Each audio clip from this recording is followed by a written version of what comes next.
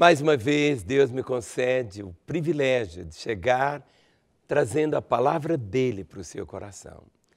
É um momento de paz, um momento de alento, um momento de refrigério, mas acima de tudo, um momento para podermos ouvir as próprias palavras de Jesus Cristo. E nesses dias estamos ouvindo tantas vozes, não é assim? As vozes dos candidatos a prefeito, as vozes dos candidatos a vereador, aí na sua cidade, como aqui na minha. Então as pessoas não falam outra coisa a não ser sobre as eleições, comentam e falam das pesquisas, não é assim? Mil coisas. Mas hoje eu quero trazer para você algo tão precioso que são as palavras de Jesus. Jesus se importa com as cidades. É verdade que o que nós vemos aqui é apenas assim um pedacinho daquilo que é o sonho dele. Deus deseja que o seu reino venha à terra. Deus deseja que aqui na terra a vontade dele seja feita no modo como ela é feita nos céus. Deus deseja que a sua cidade possa expressar realmente aqui na terra aquilo que é do próprio do coração do Senhor.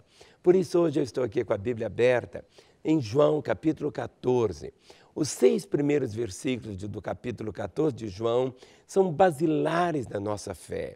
E principalmente para fazermos também um paralelo entre a nossa cidade aqui da terra e aquilo que existe do outro lado.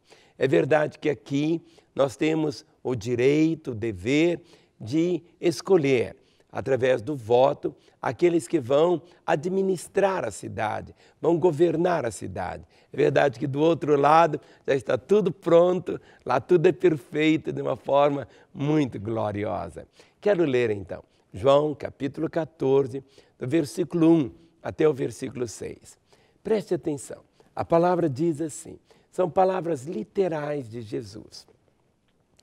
Não se turbe o vosso coração credes em Deus, crede também em mim.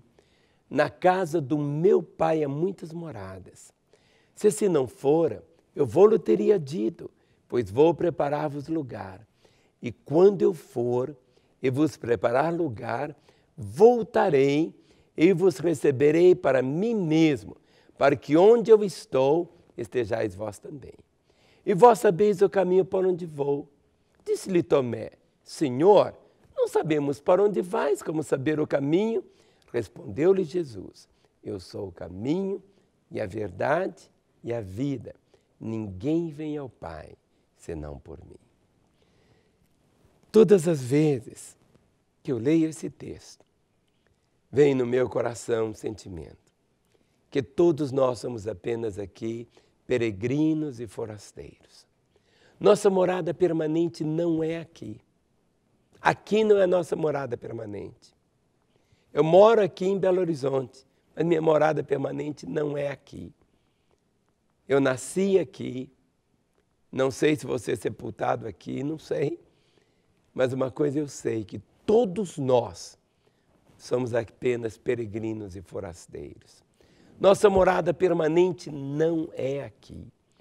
Por isso que quando Jesus falava com seus discípulos, ele disse assim: credes em Deus, crede também em mim. Você que crê em Deus, Jesus está falando, creia também em mim.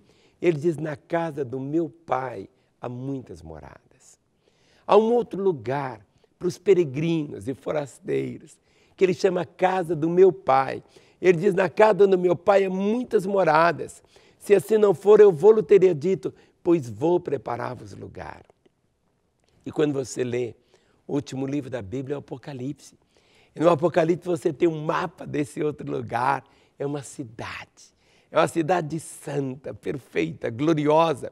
É uma cidade que não tem esgoto a céus abertos. É uma cidade até onde ela é pavimentada, as ruas são de ouro. Sabe o que é isso? As muralhas são de pedras preciosas, algo que você, por maior que seja a sua capacidade de sonhar com isso, é tão pequeno diante da realidade. Ele diz: Vou preparar-vos lugar. E ele disse: E quando eu for e vos preparar lugar, voltarei e vos receberei para mim mesmo, para que onde eu estou estejais vós também. Jesus Cristo veio exatamente para trazer ao nosso coração esse entendimento. É verdade que vamos cuidar da nossa cidade.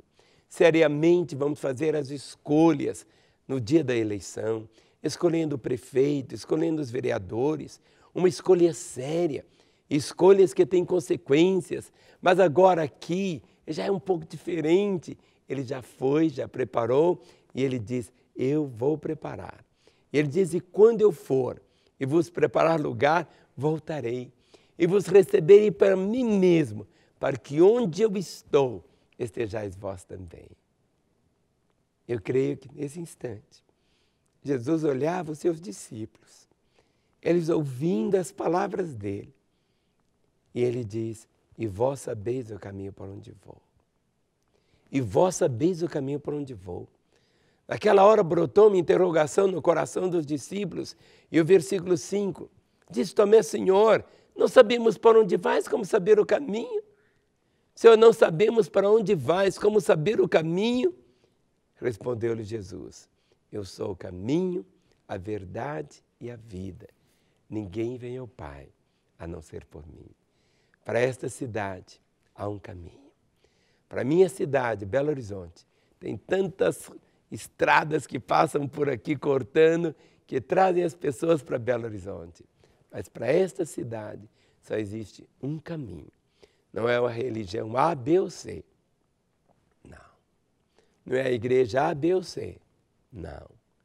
É um caminho só. Jesus disse: Eu sou o caminho, eu sou a verdade, eu sou a vida.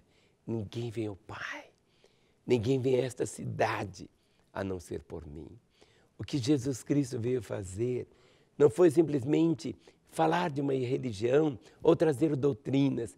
Ele veio mostrar o caminho para o céu, o caminho para esta cidade, o caminho para esta cidade maravilhosa e que é para sempre. Ninguém vai precisar colocar um tijolinho lá, porque já está tudo pronto, porque Ele preparou.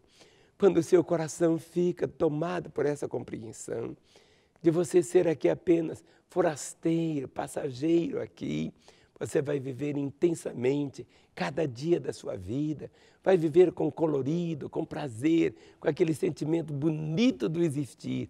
É isso que conta.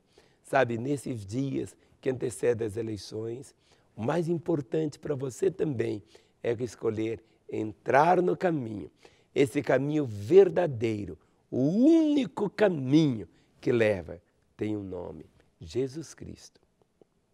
A cruz a obra que ele realizou, qualquer outro caminho, qualquer outro atalho, são apenas atalhos que não levam a nada, apenas à destruição. Creia nessa verdade. E nós queremos conversar sobre isso. Ligue para nós. Nosso telefone está ao seu dispor. 3429 9550. Às 24 horas você pode ligar. Queremos ouvir você, queremos dialogar com você, 3429 9550, sabendo que aqui em Belo Horizonte o código é 31. E amanhã, se ele permitir, eu quero voltar nesse mesmo canal, nesse horário, para continuar então a profetizar vida ao seu coração. Até lá, no nome de Jesus.